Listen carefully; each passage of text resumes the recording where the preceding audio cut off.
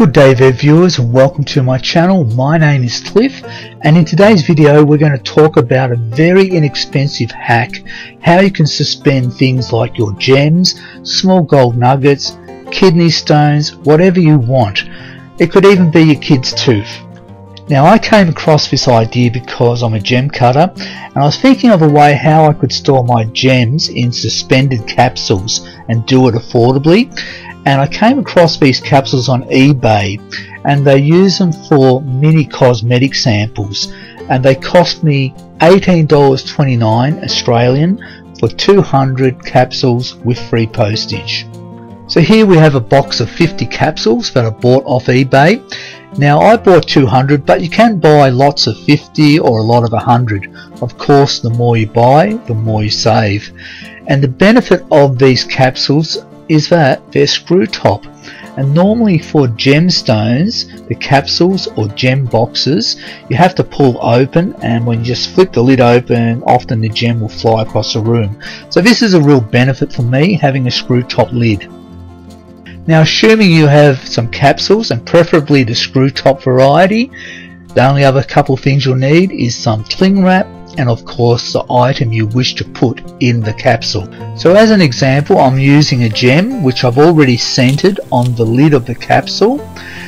On the second half of the capsule I'm going to just stretch a small piece of cling wrap around it.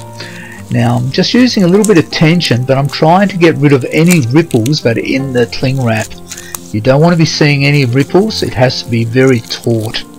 Now being cling wrap, it will automatically want to stick on the sides of the capsule, so that's not an issue. So just press that down as you're stretching it over the capsule.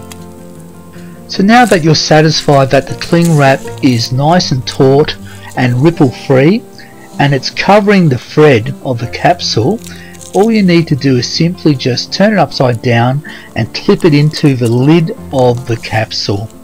Now the gem will press into the cling wrap which is nice and taut and then just make sure you lock the capsule lid in. Now these capsules have teeth on them and it will lock into place and just simply tear the outside of the cling wrap off and you'll have a really nice presentation of no cling wrap dangling off the sides of the capsule. Now once this is done you'll get to see how presentable this gem looks suspended within the capsule.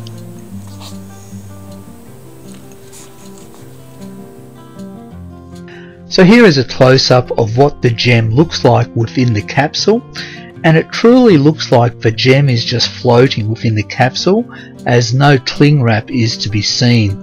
Now in my opinion this is a really great application for gem cutters or people who want to store gemstones and of course you could use this application for other purposes by putting in other items. Now of course there is a limit to what you can put into these capsules and of course the type of items that you can fit in there may not be applicable but in this case I reckon this is a great way to store gems. So hopefully this video has shown some people how they can store their gems or little treasures or just small items or family mementos in little capsules in a very cost effective way. So until next time everybody take care of yourselves and I'll see you later. It's bye for now.